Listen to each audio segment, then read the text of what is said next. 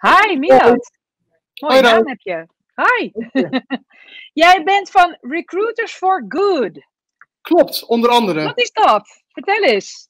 Nou, wij zijn uh, een tijdje geleden, ik denk uh, een, uh, een maandje of twee geleden, zijn wij ehm, vanuit onze organisatie Time to Hire een stichting begonnen. Waar we ehm, ja, voor de corona eigenlijk mensen wilden helpen vanuit ons recruitmentsvak. Dus wij zijn allemaal recruiters en wij verbinden mensen met, die een baan zoeken. Um, en we merkten dat daar best wel netwerk zit en dat we wel iets uh, voor de wereld konden betekenen. Dus uh, dat zijn we begonnen. En uh, toen kwam helaas corona om de hoek kijken.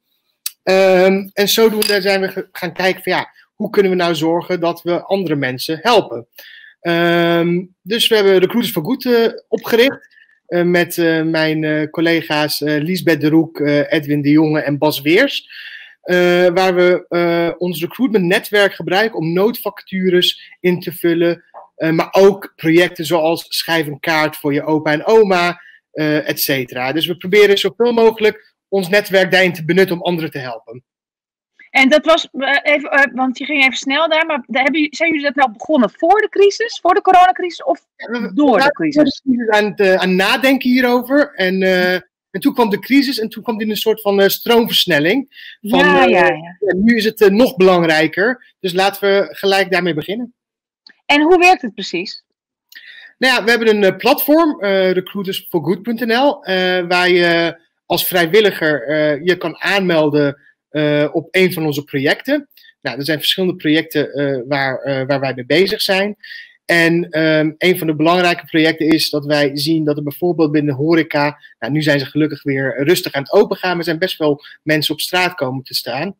En wij ja. willen eigenlijk helpen. En je merkt dat in de zorg daar wel weer heel veel vraag naar is. Dus hoe kunnen wij nou als recruiters de verbindende factor zijn op vrijwillige basis om de mensen die bijvoorbeeld in de horeca geen baan hebben, uh, aan, de, aan de zorg te verbinden. Zo... en hoe, hoe werkt dat dan? Ja, er wordt binnen de zorg hebben ze schoonmakers nodig, ze hebben verpleegkundigen oh. nodig. En er zijn best veel mensen die, die een zorgopleiding hebben gehad, maar uiteindelijk daar niks mee hebben gedaan. Of nu nou ja, geen baan hebben. En niet de, ja, zelf niet de capaciteit hebben gehad op dat moment om, om uh, aan een baan te komen, omdat er ja, crisis is. en wij staan dagelijks in contact met bedrijven die ons bellen met: hey, kun je ons helpen? En recruiters worden altijd gezien van ja, die willen, we willen ze graag helpen, maar als stichting denken we dat we op een andere manier onze, ja, in de coronacrisis onze de, de horecamensen um, een steuntje in de rug kunnen geven om, en de zorg daarin kunnen ontlasten. Ja, ja. Hebben jullie druk gehad? Ontzettend. dat dacht ik wel. Dat zal wel. ja, uh, uh, toen wij hiermee begonnen, kregen we, hebben we een, ja, LinkedIn in ons, is ons uh, premium kanaal, zeg maar, als recruiters. Dus we hebben daar een, een, een, een update geplaatst. En wat ik heel mooi vond, is dat er behoorlijk veel grote bedrijven uh, meteen zich bij ons aansloten met wij gaan jullie ook hiermee helpen. Dus ehm, ehm, er werd ook een nieuwsbrief online gezet, we kregen een artikel op de AD en je merkte dat, dat het begon te leven. En ja, we zijn nu een paar maanden verder en ondertussen meer dan twintig vrijwilligers die, en uh, staan meer dan 200, 300 vacatures op de website. En meerdere projecten waar, waar we echt, een, ja, al is het een heel klein bijdrage kunnen leveren aan, een positieve bijdrage kunnen leveren om mensen in ieder geval een beetje te helpen. Hey, en gaat het nou echt om, um, bemiddelen jullie nou in betaalde banen? Of gaat het om mensen die iets zoeken omdat ze vrijwillig iets willen doen? Of, of wat, wat, wat, wat bied je dan? Onze recruiters werken op vrijwillige basis bij Recruiters for Good, want uh, dat is een stichting. Uh, ja. Mensen die wij bij zorginstellingen, dat zijn meestal betaalde banen. Dus, ja. dus ze, komen, ze krijgen gewoon een contract bij de zorginstelling of nou ja, bij de logistiek. Want we merken dat bijvoorbeeld bij veel, veel logistieke bedrijven best wel een een probleem is ontstaan gezien de, de vraag erg hoog is nu. Uh, dus het zijn betaalde banen, maar we helpen ze vrijwillig om aan die baan te komen. Ah, zo, op die manier. Ja, ja, ja, ja. ja. En, en, en, en, en gaat het dan vooral om inderdaad werk in de zorg? Het gaat om de noodvacatures. Dus uh, zorg, logistiek, uh, supermarkten. Eigenlijk elk branche die nu kampt met een, uh, een tekort aan personeel. En aan de andere kant heb je behoorlijk wat branches dat kan met een overschot aan personeel. En we proberen ja. die twee dingen met elkaar in contact te brengen.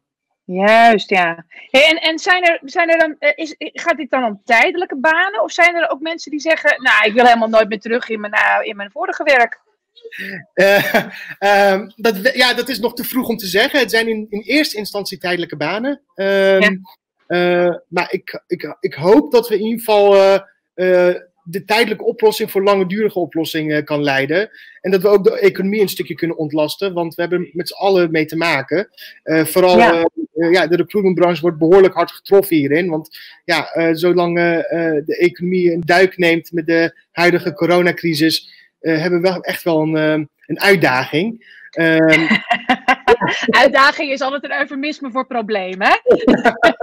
ik probeer het positief te schetsen. Ja, ja, ik weet het, ik weet het. Ja. ik ben zo'n vervelende journalist. Maar. ja, we, proberen, ja. we moeten allemaal ons steentje bijdragen, vind ik. en vanuit Time to Hire hebben we echt wel gekeken van nou, hoe kunnen we dat doen. en dat was ja, om Recruiters voor Goed op te richten. Ja, hey, en, en um, uh, jijzelf, want uh, jij doet dat dus ook vrijwillig. Hoe, gaat, hoe is het met jouw uitdaging verder? Ik heb een tijduitdaging. Mijn, uh, mijn, ik, heb, ik ben niet zo sterk in plannen. Dus ik ja. heb een collega, Fleur, die mij daar heel erg bij helpt. om, om mijn planning op orde te krijgen. Ik vergeet nog wel eens wat. Um, maar ik krijg er zoveel energie voor terug. En dat is ja, uh, kijk, we zitten recruiters, een bedrijf uh, waar, waar ik zelf in werkzaam ben. Uh, het is een bedrijf waar ja, commercie en mensen helpen uh, samen gaat. Maar het is, je krijgt zoveel energie van de mensen terug die je, die je echt bedanken. Van ja, je hebt me echt geholpen aan, aan een nieuwe uitdaging. Zonder dat ik daar um, ja, iets aan verdien, zeg maar. En dat, daar ook van. Heeft dat jouw de kijk op je werk veranderd? Uh, ja, uh, dat is wel grappig dat je het zegt. Je bent inderdaad een goede journalist. Uh, dat heeft het weken veranderd. Ehm, ja. je, je, je merkt dat we. Ja, de saamhorigheid in recruitment is best wel. het is best een concurrerend model. er zijn veel bureaus die met elkaar in strijd zijn. en je merkt dat op het moment dat zo'n crisis zich voordoet. Dat best wel bedrijven, maar ook mensen samenkomen omdat ze één doel hebben. Uh, uh, om te zorgen dat we allemaal wat beter hieruit komen. En je merkt dat, dat de concurrenten, wij je eerst als concurrenten beschouwt, nu meer ja, con-collega's zijn. En wij met, met ze, ja. corona kijkt niet of je bedrijf 20 man of 100 man groot is. Het pakt je echt wel aan. Ja, ja. dat pakt ons allemaal natuurlijk aan. Hey, maar, maar, en, en je kunt, maar, maar het feit is natuurlijk wel, hè, want je, ik voel heel erg inderdaad ook jouw interne drijfveer en je noodzaak ook om gewoon iets goeds te doen.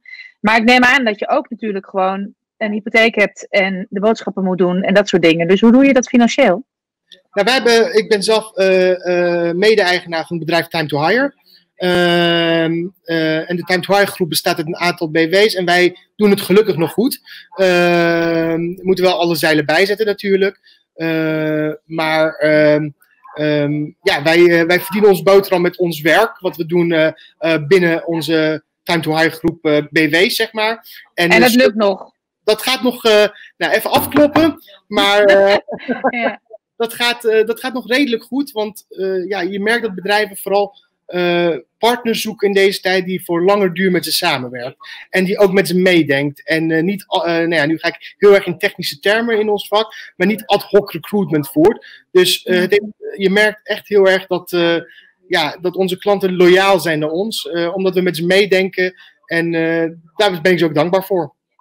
En je zei net al, hè, jullie zijn op dit idee gekomen nog voor de coronacrisis. Terwijl ik me voor kan stellen dat juist de, de coronacrisis zelf uh, dit soort gedachten wel in de hand werkt. Ja. Maar eigenlijk was het daarvoor al. Waar kwam dat dan vandaan? Ja, ik ben zelf uh, gevlucht uit Iran. Uh, en ehm, een van de dingen die ik altijd wilde, als ik op een gegeven moment dacht van ja, ik, uh, ik, ben, ik ben gaan ondernemen uiteindelijk. Uh, maar ik wilde ernaast altijd andere mensen helpen uh, met, met ja, want het idee kwam eigenlijk, we gaan bijvoorbeeld allochtonen die bijvoorbeeld niet weten hoe ze een cv in elkaar moeten zetten, hoe ze bij de juiste instanties moeten aankloppen voor een baan, uh, omdat uh, de, hun taal niet in orde is of van, uh, ja, het is best een bureaucratisch ding als je bij de UWV zit om aan de juiste baan te komen. Ja. Om ze daarin te ondersteunen. Omdat ik zelf, nou ja, wat ik al zei, ik ben zelf een allochtoon. Ik ben ja, 23 jaar geleden uit Iran gevlucht. Dus, Hoe oud is je toen?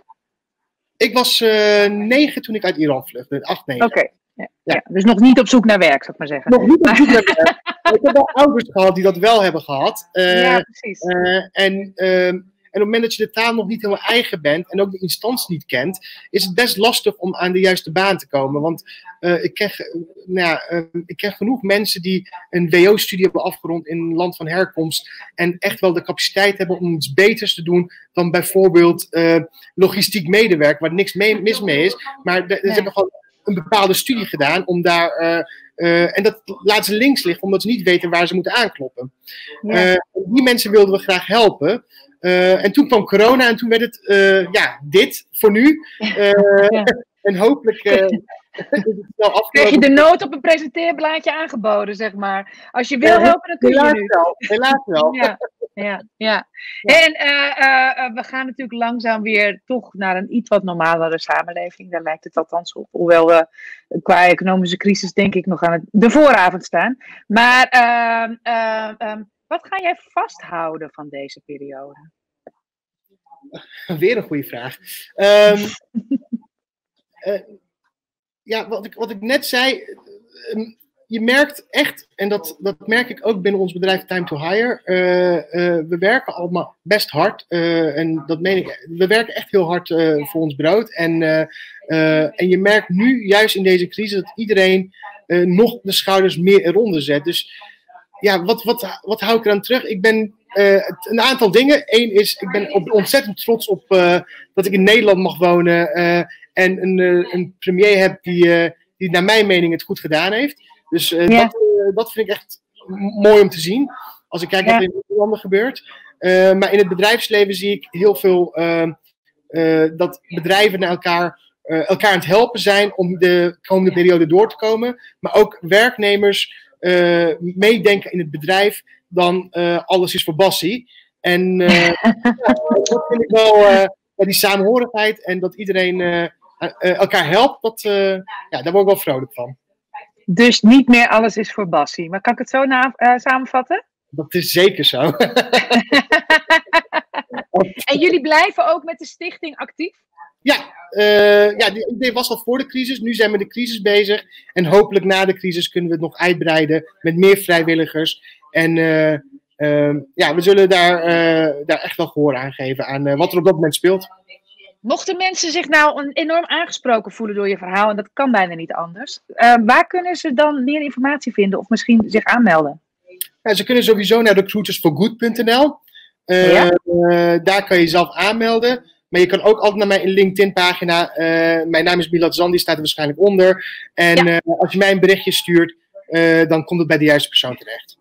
Fantastisch. Hey, hartstikke bedankt voor je mooie verhaal. Ik, ik, vond, ik, vond, ik vind het een heel inspirerend idee. En inderdaad, niet meer alles is voor Bassie. Die tijden zijn echt voorbij. Die zijn voorbij. Geen hoge bonussen voor de banken. nee, weg de ah, flauwekul inderdaad. Doen we niet meer. Is klaar. Heel ouderwets. Super bedankt.